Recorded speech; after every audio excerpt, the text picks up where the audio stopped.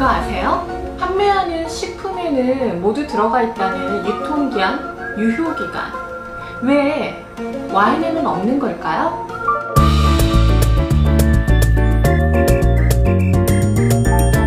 안녕하세요. 와인 담은 이야기 양수댁 정다은입니다. 유통기한, 유효기간 뭔가 알듯 말듯 하면서 명확한 개념이 잡히지 않으신 분들이 계실 것 같은데요. 일단 유통기한이나 유효기간이 지나면 좋지 않다라고 판단을 하시는 거잖아요. 그래서 오늘은 저도 정확하게 좀 정리를 할 겸 같이 한번 알아보도록 하겠습니다.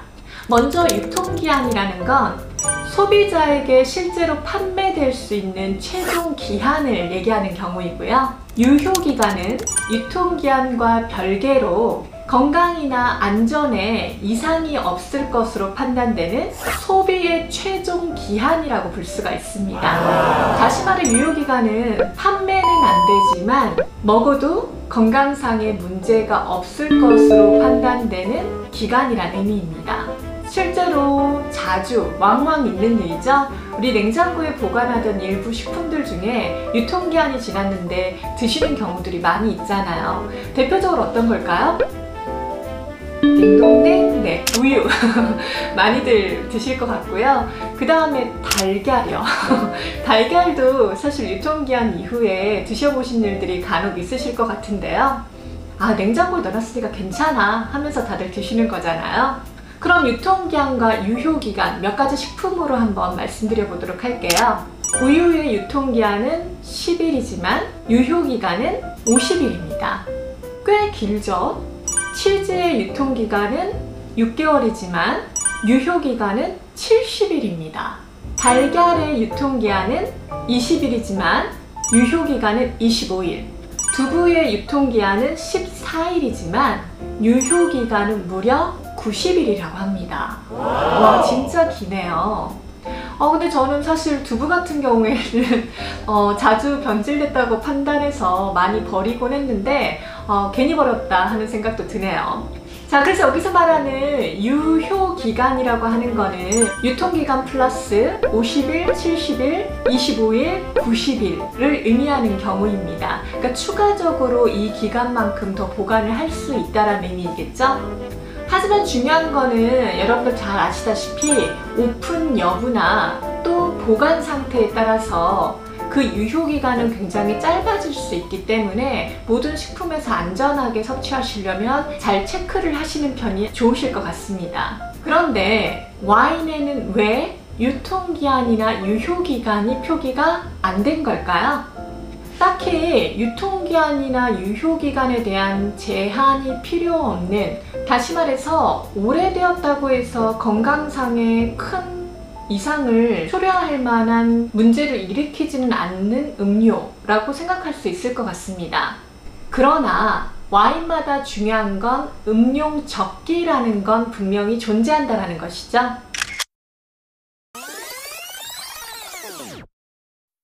와인은 품종이랄지 와인 메이킹 방식에 따라서 스타일이 달라지는 술이고요. 실제로 보관 상태에 따라서도 음용 적기가 달라지는 대표적인 음료라고 볼 수가 있습니다. 그래서 우리가 흔히 잘 알고 있는 보졸레 누보와 같이 매해 11월 세 번째 목요일에 출시되는 해포도주는 보통 그 해를 해당하는 해를 넘기지 않고 드시는 게 좋은 편이지만 어떤 와인들은 빈티지를 기준으로 3년 내지는 5년 길게는 10년에 이르러서야 굉장히 좋은 맛을 낼 수 있는 음용 적기에 도달하는 와인들이 있습니다. 그래서 그 와인의 특성에 따라서 음용 적기는 다 달라진다고 볼 수가 있고요. 그리고 또 다른 음용 적기를 판단할 수 있는 기준은 모든 와인에서 일괄적인 적용이 어려우므로 시음을 해보신 이후에 적당한 시기, 피크 타임을 예측해 볼 수도 있습니다. 한마디로 맛을 봐야 음용 적기를 판단할 수 있다는 얘기겠죠?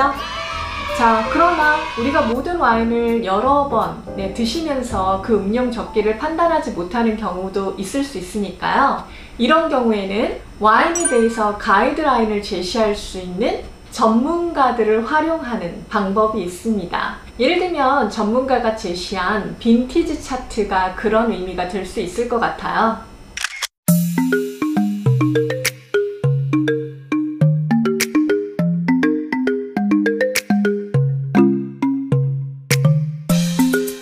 빈티지 차트를 통해서 특정한 지역의 네, 특정한 빈티지의 특정한 포도 품종으로 만든 와인들은 어느 정도 시기가 되어야지 마시기 좋다라고 판단되어 있는 가이드라인이 있는 거죠. 그래서 이런 것들을 보시고 참고로 판단해 보실 수가 있을 것 같습니다.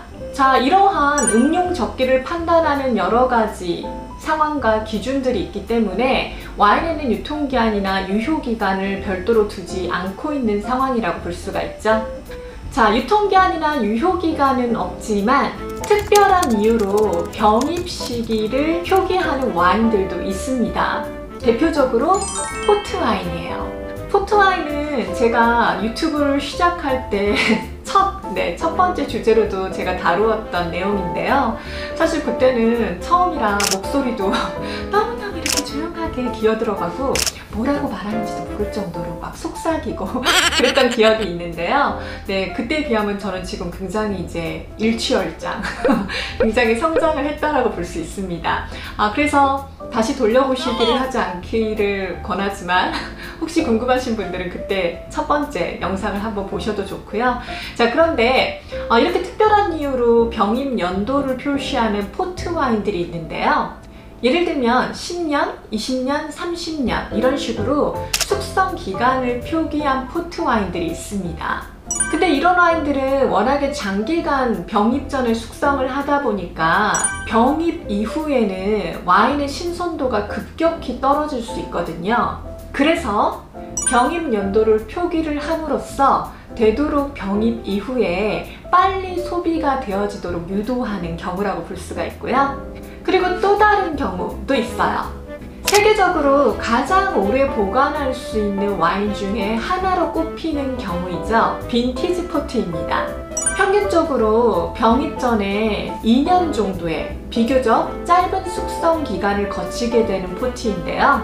하지만 이 와인은 실제로 병입이 이루어지면 미니멈 최소한도로 적어도 네 20년 이상 숙성을 요하는 와인입니다. 그래서 이 와인 같은 경우에는 장기 숙성을 병입 이후에 하다 보니까 침전물이 생길 수밖에 없어요. 그래서 반드시 디캔팅을 또 요하는 와인이기도 한데요. 자, 이 와인의 경우에도 병입 연도를 표기를 해놓고 있습니다. 근데 우리 아까 처음에 얘기했던 장기간의 숙성 기간을 표기한 포트와인과는 다른 이유로 표기를 하게 되는데요. 바로 충분히 숙성을 한 이후의 맛이라고 유도하는 이유입니다. 신기하죠? 그래서 같은 포트와인의 병입 연도를 표기를 하는 사례이지만 한 경우에는 빨리 마시라고 유도를 하는 거고요. 다른 한 경우에는 천천히 숙성을 거쳐서 마시란 의미에서 표기를 해주는 경우라고 볼 수 있습니다. 어떠세요? 유통기한이나 유효기간 표기는 없지만 와인에도 숨어있는 여러 가지 날짜 표기들이 있다는 거 알게 되셨죠? 이상 소개해드린 바와 같이 와인에는 유통기한, 유효기간 등 음용 시기에 대한 제한은 별도로 없습니다. 하지만 맛있게 드시기 위해서는 와인마다 각기 음용 적기가 있으므로 관심은 필수적인 부분이라고 볼 수 있어요. 관심 많이 가져주세요.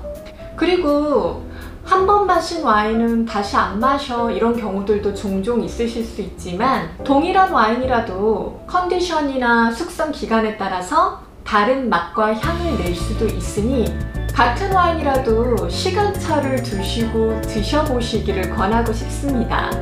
저는 다음 시간에 다시 돌아오도록 하겠습니다. 여러분, 안녕히 계세요.